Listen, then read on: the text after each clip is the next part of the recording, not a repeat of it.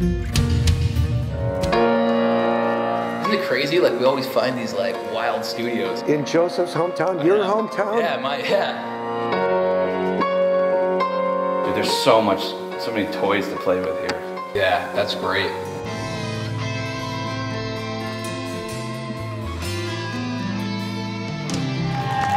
I don't fucking give a toast to Adam Sagan. If the dead could smile back at us from beyond their withered graves. I am God! this is what I give you! The tarantula's gonna crawl out of there, man. Dude, that could happen. we got some co- cocaine in there. Coca. Look at your guitar. What's the future of Witherfall? I thought you were gonna ask something simple. Yeah, that's nice. Let's just give it a shot then.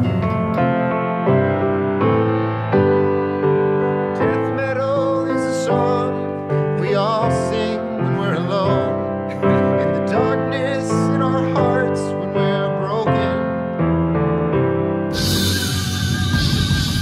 Yeah, with having Chris and Jerry coming into the fold, it's definitely more of a, a band situation. Whereas before it was kind of just Joseph, Anthony, and myself.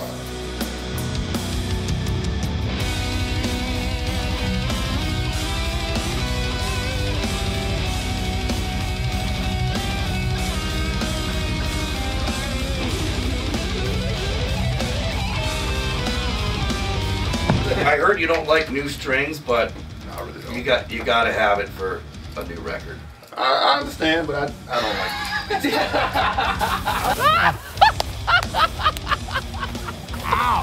I think this is a metaphor for the whole music industry. Well, that's the thing with Witherfall. It's it's like Cracker Jacks. You never know what you're gonna get until you open up the box.